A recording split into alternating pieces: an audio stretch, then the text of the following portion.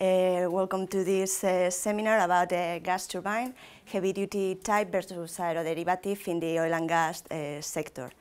Uh, my name is Almudena Barreda.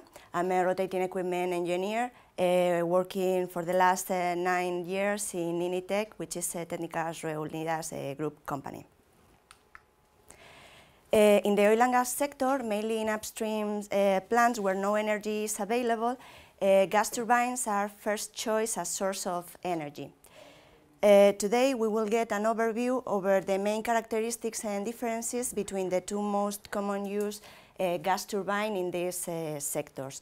So it will allow us to select the better uh, option for depending on the uh, ambient conditions and the service where the gas turbine is going to be involved. A gas turbine is a turbo machine which delivers power following uh, the Brayton cycle.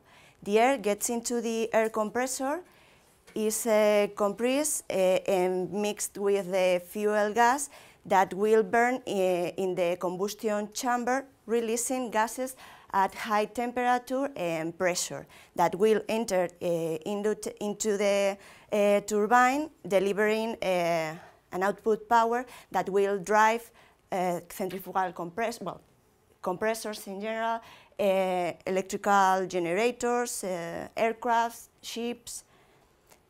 generally, a gas turbine has an efficiency around 32%, but this value depends on the type, manufacturer, and model of the gas turbine.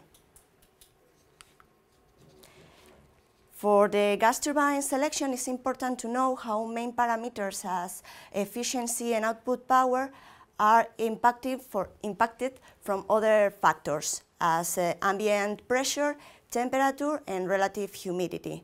These uh, variables are directly related to the air density. Uh, the, the, air compressor swallows a volume of air, which volume depends on, on that air density. So the higher amount of, uh, the higher mass flow uh, is uh, enters into the axial compressor, the bigger uh, mass flow of hot gases will be obtained and uh, the higher power will be delivered by the uh, gas turbine. Under this scenario, the gas power will require less energy in the less energy to get the um, required pressure uh, in the combustion chamber, and so the firing temperatures will be lower, improving, well, not improving, but uh, reducing the, the, um, the wear in the uh, gas turbine. So an increase in the ambient temperature, altitude, and relative humidity uh, results in the reduction of the efficiency, reduction in the output, output power, and consequently a reduction in the life cycle of the gas turbine. The quality of uh, fuel gas uh, uh, depends on factors as the composition, the heat rate, uh, the corrosive components, water content. The higher heat rate uh, of the fuel gas the higher uh, output power will be delivered by the gas turbine. the efficiency of a gas turbine uh, depends as well on the firing temperatures of the reached in the combustion section. The higher fire temperatures uh, will give us a higher operating, uh, a higher output power.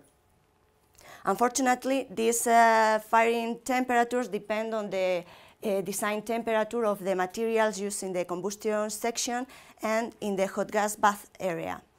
Many companies are studying new materials and alloys uh, trying to increase this design temperature in order to allow the gas turbine fire at higher uh, temperatures to increase in that way the efficiency of the gas turbine.